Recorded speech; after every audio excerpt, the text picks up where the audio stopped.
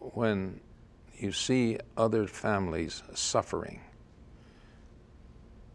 I don't get comfort out of that. I just trying to work harder and figure there's got to be a better way. There's got to be a better way. Somebody upstairs knows better than me. Come on, give me a hint, and let's go try. Big Island ranching pioneer and lifetime community volunteer Herbert Montague Richards Jr., better known as Monty, shares his love of the land next on Long Story Short. Long Story Short with Leslie Wilcox is Hawaii's first weekly television program produced and broadcast in high definition.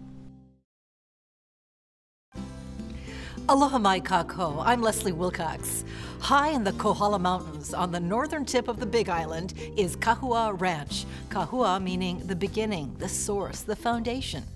Herbert Montague Richards Jr., better known as Monty Richards, is a third generation member of the Kahua Ranch family business and a fifth generation Kama'aina descended from Protestant missionaries. As the former president and general manager of Kahua Ranch, Monty Richards spent over a half century with his late wife Phyllis on the homestead while raising a family of four and their grandchildren. His dream of a career in ranching came to him while spending childhood vacations at Kahua. In 1953, with an agriculture degree in hand, Monty began work for the company. His initiation was learning the ropes at the company's slaughterhouse in Honolulu. I did most of the jobs they had there, including rolling hides, which is if you've never rolled hides, you have no idea. What is rolling hides? Rolling hides is, these are hides that are uh, taken off the animal. and they go in a salt pack. You actually salt them down. You lay them out on the, on the ground and shovelfuls of salt. And then when, it, when they're cured, you have to fold them up. And uh, in those days, we used to have to tie them up. And then, then, they're, then they're loaded on a flat trailer, and in those, I think we were shipping some to the mainland, some to Korea in, in those days. What for? What, what do they use the hides uh, for? Well, shoes, belts, handbags, all the rest of those good things. The smell was out of sight, and, and the hides are heavy, you know, they're 60 pounds and that sort. And I have howly hands, and, and we use hide rope, which is a, which is a sisal type of a rope which can cut because you're in, you're in salt. Boy, it used to burn. So you graduated with this degree and then came back and did this kind of a junk job. You have to learn. You have to learn. Maybe you are told how to do the job, but until you get out and do it, you don't realize how hard the work is. And when you are going to give orders to get people to do it, they know that you have done it. And that makes all the difference in the world in terms of labor, that's probably one of the toughest jobs. You used to do that on Saturdays, which is, you know, you don't work five days and then you get two days off. And, but there are all kinds of jobs. I, I delivered meat. And in those days, you used a pickup truck. You didn't have these nice big vans with all the chill and all. You just pick up truck, you cover them with a canvas, and you drive down. And you know Chinatown and all, you double park, and and you and you load quarters of beef on your shoulder, and you take them into the, take them into the market. But you know those quarters weigh about a hundred and a quarter, 150 pounds, and you're you're you're walking through a, a, a narrow aisle with, with with people buying all around. You got to be careful you don't knock anybody down as you swing because uh, it, it's sticking out about three feet in front. Were they deliberately giving you the roughest jobs because they needed to see whether they I were testing so. you? I think so. And and it should be done that way. So they didn't give you any chance. Nope. Any break. Nope. And you'd get, and if you were wrong, you were politely told where you were wrong. So you just do it. Then later on, they transferred me to the Big Island. So you're one of the hands. That's right. You, you rode your horse, you, you know, you saddled, you caught your horse at 6.30 in the morning and off you went. Did you like it? Were you saying, about then, were you saying, why did I want to get into this business? It depends on the weather. If the weather is fine, no. If it's raining, yes. And the wind is howling at about 20 to 30 miles an hour, and you're hunched over and your horse is hunched over and you hope he doesn't buck you off um, and, and, and, your, and your slickers, you know, hitting the horse and all. You wonder, what am I doing here? You just keep remembering that many of the people that you went to school with are junior accountants in a bank in New York City and think of the life that those folks lead. You know, the, the Wall Street folks would just wait till Friday afternoon, they'd jump in their car and they'd go to the farm. They'd have about an hour and a half drive and then they would spend a day and a half on the farm. Listen, clown, you're living it all life. You're living it every day. So don't grumble. You got it made. Monty Richards is recognized for his pioneering efforts in high intensity, rapid rotational grazing techniques, and also for diversifying the business. This includes experiments with hydroponic farming and eco friendly energy sources such as wind and solar power. Tourists are also invited to visit and explore Kahua's breathtaking scenery. I've been looked upon as kind of a maverick that do things differently. For instance, I started with motorcycles here. I got started on that. And people thought it was terrible, and it probably was. So to try to make it work a little better, I referred to them as Japanese quarter horses. So to have a little bit of the, you know, little, little bit of the pizzazz still left in it. We use ATVs now and all, most ranches do. They make the ranch much smaller because you're able to move around and you're able to get things done. So you never know. Some things work well, others don't work well. And of course, cattle aren't the only things you grow. No, we grow sheep. We're the largest sheep sheep rancher in the state, which doesn't say much. We have about 800 ewes. How many cattle? Well, mother cows, uh, Kahua is about 4,000. And you're, you're doing these uh, hybrid? Yeah, uh, yeah, we're crossing in within the 4,000. Uh, we work with Wagyu cattle, you know, Kobe beef. That's what we raise. And the unfortunate thing is so much of our cattle go to the mainland to be raised and fed. Getting the Wagyu in is working well with, with grass-fed. Uh, we are able to kill a bunch of cattle here. And we run a little store at the ranch. And we sell sheep and, and cattle and Wagyu. In the case of cattle, the gestation period is nine months. So if you breed a cow, nine months later, hopefully you get a calf. She stays with mama about eight months. So here we are. Now we're up 17 months. Now you raise it on, on grass another, another three months. Then you're about four months in, in feeding the animal before it is harvested. It's a long time. It's expensive. Uh, oh yes, but it's experimentally. You've got to figure which ones are going to do the do the best job for you. And when you're experimenting, you've got a long wait. They're not like chickens that turn over uh, generations where extremely quickly. So how is your experiment working out? You've done this for generations mm -hmm. of, uh, of cows. Well, of the Wagyu, for instance, you can't get uh, any matter out of Japan. In other words, in other words, they won't ship any more, any more semen to you for AI or anything like that. So you've got to use what you have in the United States and breed up with them and tr try to get to the highest percentage that you can. We started at Kahua breeding artificially. The first calves hit the ground in 1966, and we were using Hereford and Angus at that time. And, you know, we've since moved on, and, and, and, and, and we're continuing to breed Angus and Hereford, but it takes a long time. So how has how, how have your um, customers changed? Who do you sell to now versus who you sold to before?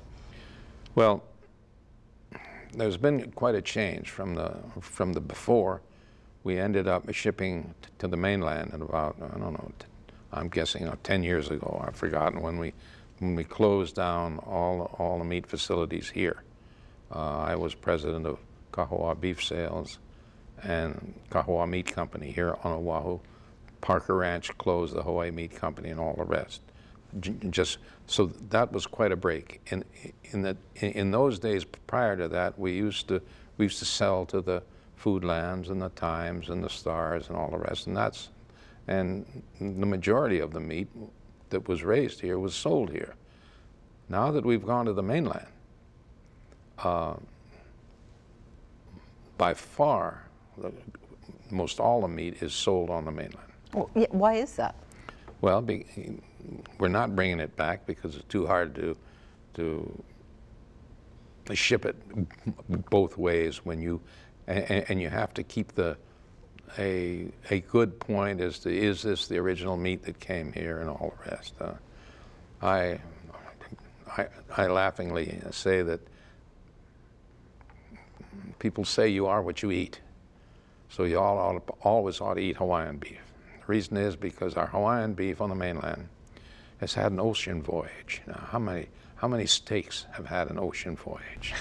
and then when you come to the mainland, when you come to either Canada or, or uh, California, got to have a nice long truck ride. So it's had the ability to see the country.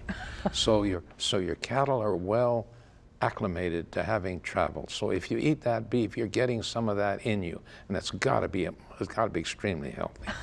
well, why do you ship them away? Why don't why can't they just live live their entire lives here and be consumed here? We are trying to that. We need new slaughterhouse. We need that. We do not have the facilities. We've got to get the infrastructure back that that that we lost at the time they were sold. At the time it was closed, people in Honolulu wanted U.S. choice meat. Oh. Didn't want any of this grass fat stuff anymore. Nope, didn't want it. Now the whole thing has changed. Now people, because of the health thing, want grass fat. Okay, now because it's leaner steak. Leaner, uh, tastes better. It's better for you, et cetera, et cetera. But now we've got to build back the infrastructure that was lost, and that's extremely expensive. And the expense is caused by number one, the time has, that we live in, and number two is the amount of, of, of federal regulation that is involved. So you pretty much have to start with a clean sheet of paper. Cattle ranching in 2010 presents a challenge to ranch owners who are struggling economically. Kahua Ranch is no exception. My feeling is that if you have a piece of land, the land must work for you. You work with it, but you, it must work for you. Now, the, you can have cattle on it, and that's fine, but your land isn't really working. The amount of money you can harvest from one animal, the amount, not much, not enough. You got to make the land do something else. That's why we had, that's why we had the visitor industry on there. ATV riding, taking people, letting them see things, see a ranch going. There you begin to make the, make the land the land work. You are number one, you are educating people that come on the place as to what you're doing, and you're showing people why they're coming to Hawaii because they'll see agriculture in operation. We've hit this tough times now. That's, that's, that's slowed way down. I think we'll be able to pick it up, but you always have to realize that the, that the, the end game in land is houses. Once you get in houses, you know, the game's up. Have, do you really want to do that? Have people approached you with some nice big offers for your land? Well, I fend them off. I don't get down, get down serious. We could sell it, be no problem. It's some of the most beautiful land in the state. But there's more to being a landowner than only looking for the so-called highest and best use. And the highest and best use of any land is subdivision. You ought to be smarter and make the land work for you and, and help you, which in turn helps your fellow man. But on the other hand, you've tried all kinds of things, and the economy hasn't helped, and uh, weather often hasn't helped. I mean, how are you doing at this point in 2010 with the family business? Not very well, but you don't give up. You don't give up. How much does it wear on you? I mean, you know, you, you, you employ people, your family's living on the property. When you see other families suffering, I don't get comfort out of that. I just trying to work harder and figure there's got to be a better way. There's got to be a better way. Somebody upstairs knows better than me. Come on, give me a hint, and let's go try. And and, and that's um, you're you're getting into my philosophy of life, but that's the way I I looked at it. Never give up. Nope. Keep trying. That's right. And what about at what point do you consider taking an extreme right or left turn as opposed to pers- persevering and moving in that same direction? I haven't gotten there yet. I don't know. How was it when you turned over the reins of the business to your son Tim a few years ago, after after being the boss for a long time, decades? it's interesting. When you decide to do that, you you that's a switch. You're either full on or you're full off. You better go full on if that's what you want, and you turn it over. My tongue is two inches shorter. the protein that I've eaten has been my tongue. but I've tried to stay positive. And support him as yes. he runs the business. That's correct. But you do things, some I do things something different. differently. Yep. Yep.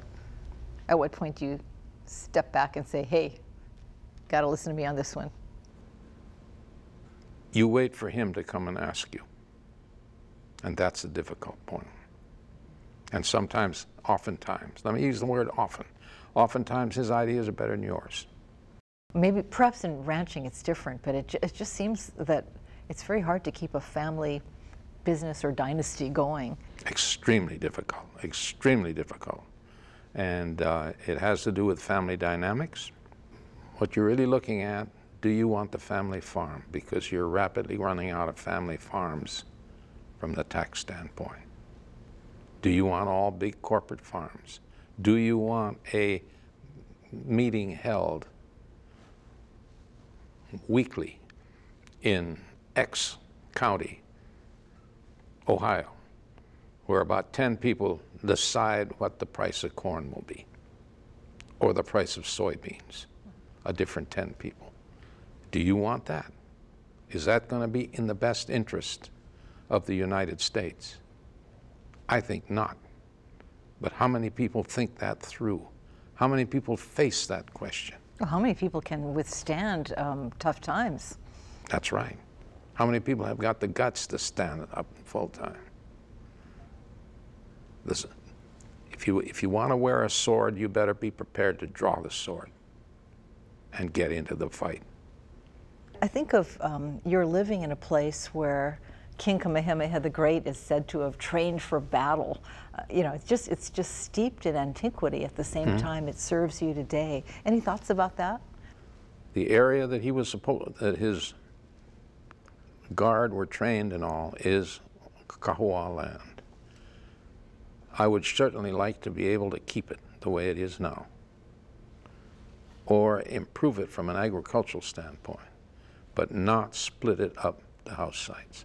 We did sell a bunch. Kohala Ranch was part of Kahua at one time, and that was it. But we stopped at a line below the cinder cones because this other shows where Kamehameha was. And do you foresee a time when there might be family dissension about whether to sell off land yep. for housing, yep. for real estate purposes? Yep. Oh yeah, oh yeah. Because if a person owns a ranch and you're not making money, it's costing you money. What are you going to do? And we've got to be smart enough to make sure that they're that they're profitable. Do you know what? You, what are you hoping for? What What do you think might be the next best thing for the ranch? Well, you make the land do something. Visitors, that sort, which keep it in agriculture. But nevertheless, let more and more people enjoy it. And when if you do a job, you can charge for it, and everybody is happy. So it sounds like you don't look for easy work. No, I just I just look for work. and do you like it when it has a physical element to it? Yeah, that's fine. I mean, certain when you talk about talk about physical and I won't ride a horse anymore. I won't even get on a horse. if you fall down off a horse, when you get to be about my age and something busts, it may heal, but it'll be a long, long time, and it may never heal. So don't put yourself in that position. Um, and a, neighbor islander, and especially a Hawaii islander, has a different sensibility about life in Hawaii. Probably do. And what what should people in Honolulu know about about um, Hawaii as seen through your eyes? Well, you mean what do they look at the big island and they don't see? I'll tell you one thing East Hawaii versus West Hawaii. To me, that is terrible. That is one island.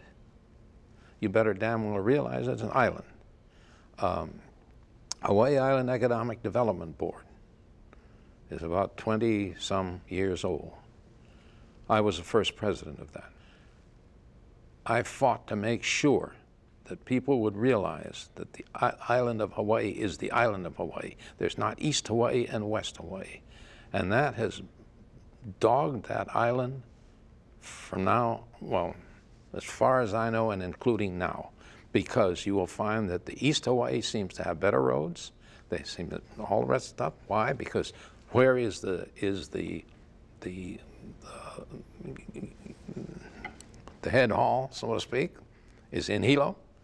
The mayor of Hilo and all the rest. I keep saying, listen, let me tell you something, folks. What's going to come? What's going to come about is West Hawaii, with all the housing and all that's going on, all the millionaire homes. That's going to be where your tax money is going to come from. And they're not going to sit still to have East Hawaii get everything in. Here, here's a little, a little pin for West Hawaii. You have to have the island of Hawaii. And I said, you wait till you get a mayor from West Hawaii, and you see what's going to happen. You think you guys know what's coming?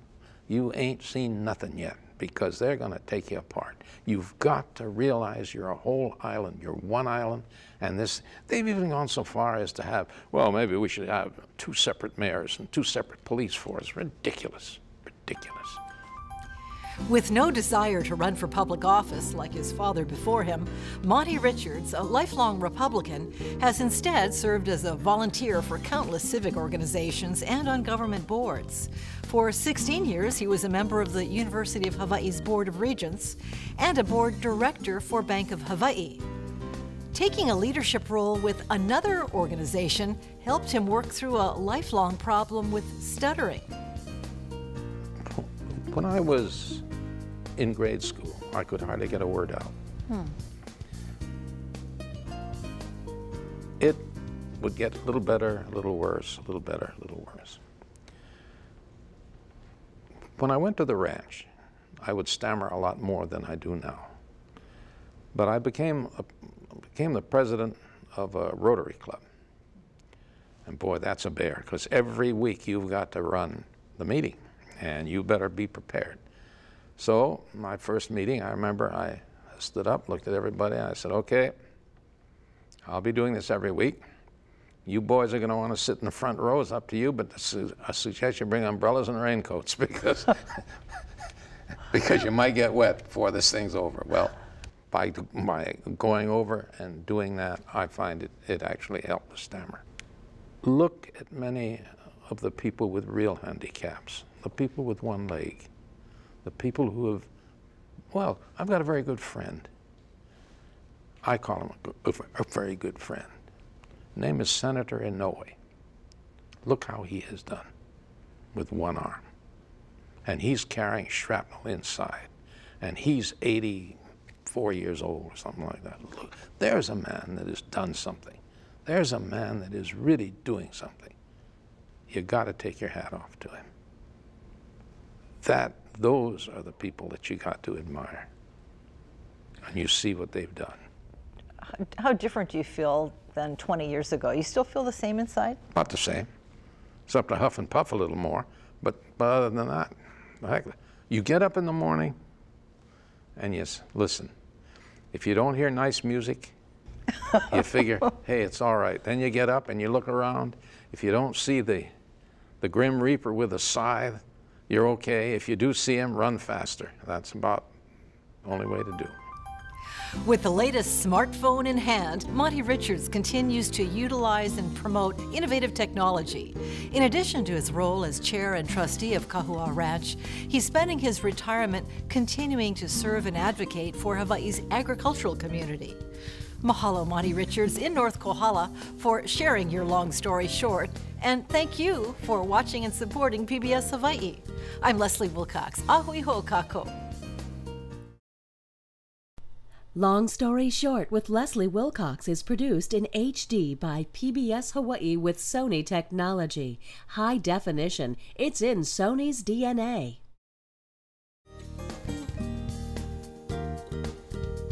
Do you think missionaries have gotten a bad rap in today's history of Hawaii? Yep. And it's unfortunate. How do you look back on it? I look back on it, I think it's, uh, it's bound to be. Anytime you have any envy, that you always try to chop down something else, and that's, uh, you know, that's part of the life. But if if you're if you're the the chopper or the choppy, it makes a difference. If you're the chopper, why, ain't bad. If you're the choppy, it it, it, actually actually hurts a little. But uh, but you have to push on. You have to push on. And when asked, don't be afraid to say no because this, that, and the other. But you don't go looking for a fight. But if they want to fight, you give it to them.